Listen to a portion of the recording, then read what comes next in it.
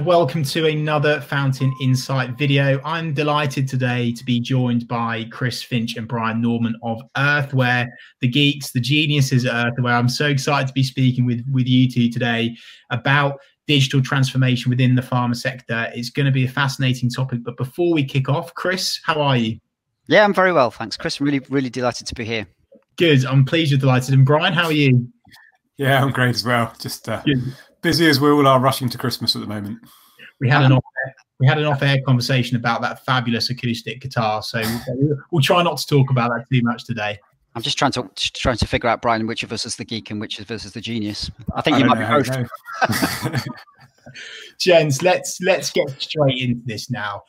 Let's kick off with this big question. What challenges are the pharma industry facing right now in terms of digital transformation? Because it's quite it's a it's a heavily regulated industry with with quite a slow uptake in terms of digital transformation. That that's a fair statement to make, isn't it? It, yeah, it is, and um, I think you know if you look at any of the research that's been done by you know the big consulting firms like McKinsey, the pharma industry has always shown up as, as the laggards when it comes to, to digital adoption. And you know, was it ever thus? It's been like that for, for, the entirety that I've worked in the industry, which is which is 20 years. Um, but I think I think COVID has really triggered a, a mindset shift within the industry. Um, you know, for, for the last hundred, for the for the first hundred years, it's it's kind of gone from being small apothecaries right through to these multi-global global um, inter international organizations and a, and a one and a half trillion dollar industry, and that was all built on on an old model, a business model, which was which was sales reps going out and talking to healthcare professionals, and all of a sudden, literally overnight, you know that was that the rug was whipped from under the feet of pharma, and they, that business model was was gone, and they've had to adapt. Um, so I think we've seen a sudden realization and a sudden rapid adoption of of digital channels and digital technology because they've really been forced to do that. You know, they couldn't put it off any longer. Um, so it's been, whilst it's been really challenging, I've actually somebody working in the industry, I find it really refreshing because um, it's it's it's forced the industry to think differently. Hmm. It certainly has been refreshing. Brian, what's your take on that question?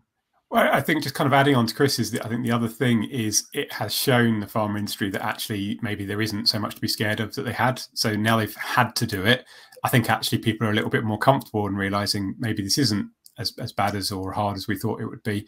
And, and also just their clients have been through exactly the same thing. So we've seen the NHS responding in amazing ways, obviously with their remote kind of access. so I think everyone has just hopefully caught up with those of us that have been suggesting this is possible and, and doable for many, many years. So I think we're really hopefully on that that verge of acceptability, which was probably going to take a decade to arrive, has turned up in eight months. Um, and, and everyone has suddenly become all more comfortable now. So we've got literally everyone from, from your grandmas to your kids more than happy with doing these kind of things. And, and I think that really is, is the change in the industry that people have accepted maybe it's maybe it's doable. Maybe we can get on with this. Love that. Love that sentiment brian. I love that. And i love the fact that it's kind of gone from a to z really quickly. Because as you say it, yes it's shocking but it seems like this industry needs this right now. And this is where people like yourselves and, and fountain can really help these types of companies. But it's very easy chris and brian for us to just sit here and talk shop and say yeah you know it's great it's lovely but, but how can people in the world of pharma truly embrace digital transformation? How can they dive in without making too many mistakes? Um, I think for me, I mean, there has to be a bit of a mindset change in pharma from the way that we used to approach our communication strategy and our communication plans. When I when I was a brand manager, I'm going back kind of 15 years now. It used to be we used to say, you know, who who do we want to talk to? What do we want to say? How do, how do we want to say it? And that was kind of that formed the structure of our communication plan. But actually if you if you if you're adopting digital you know digital is much more people people are coming to you for for information. So you, you have to much more put yourself in the shoes of of the of the end user of, of, of the customer or of the patient of the healthcare professional and actually ask what is it they want? What do they want to achieve? What are the problems they have that that we can solve? And if you do that then it kind of starts to fall into play. You know the, the channels that you should use and the the digital mechanisms that you, you want to use to reach these people becomes quite obvious when you when you try and look at the world from their point of view. Brian, thoughts? Well, I think the, the other kind of opportunity is um, people will fall back on what they've traditionally seen in digital. So you kind of email shots going out and your brand websites and all this kind of stuff. and I'm hoping that now everyone's been used to Zoom calls that are dreamt up in five minutes that we all jump on and do something that the people will see digital content as maybe we can do something a little bit more interactive, a little bit more personalized. Um, so just simple things like um, going from having websites or, or, phone numbers to ring up MedInfo and having that kind of information to 24 7 available kind of personal assistance or things like that. So I think it's just understanding that just going and doing the digital things we've all been doing for 10 years is, is a missed opportunity. What is it now we can do that can be much more engaging with people, much more interesting, um, much more personalized without crazy costs? I mean, you're not going to literally personalize everything, but you, you can create experiences where they are targeted at particular people or they can choose and pick parts of their experience.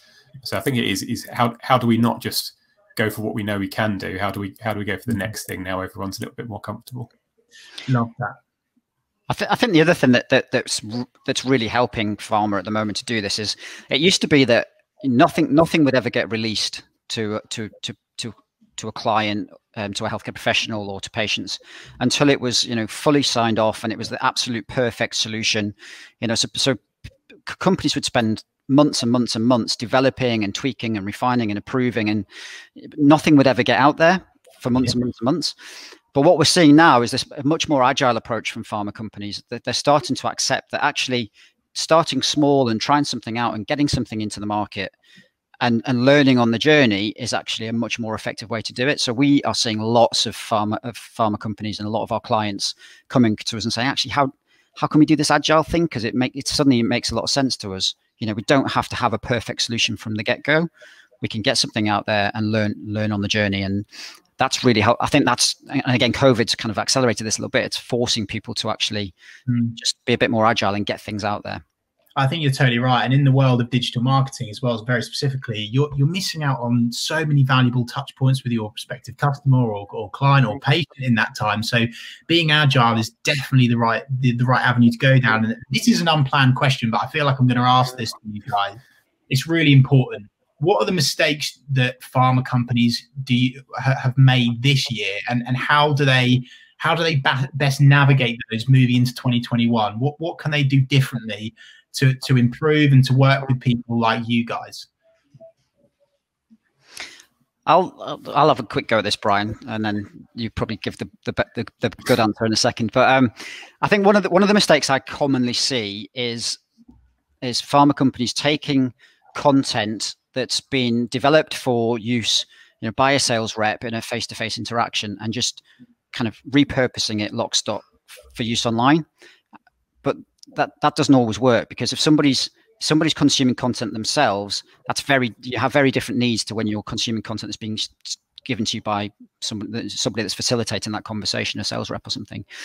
Um, so i think it's important that pharma really thinks about what's what's the situation that the, the user's in, the person that's consuming this content is in. Um, what is it that mm. they, they, actually need, and how do we adapt our messages? How do we adapt the you know the imagery that we use? How how do we use different media to convey that message in a way that actually fits for that that scenario, that situation that that person is in, rather than just taking something we prepared to be delivered by a sales rep and just bunging it online. Yeah, I think I think that's a really good point. And I, and as I say, that that was an unplanned question, but I feel like pharma companies need to they need to know this stuff. They really do. It's super important. Let's um you know talk about now moving into 2021, if you don't mind, gents. What what do you hope slash forecast for this world in 2021? I'm really hoping that because people have now experienced some of the stuff that that they haven't done before. They've, they've tried out, they've had a go with this kind of stuff. Um, we find that if, if, if a client, I mean, all our clients are really busy. That this isn't digital, isn't necessarily their, their day job, their everyday job.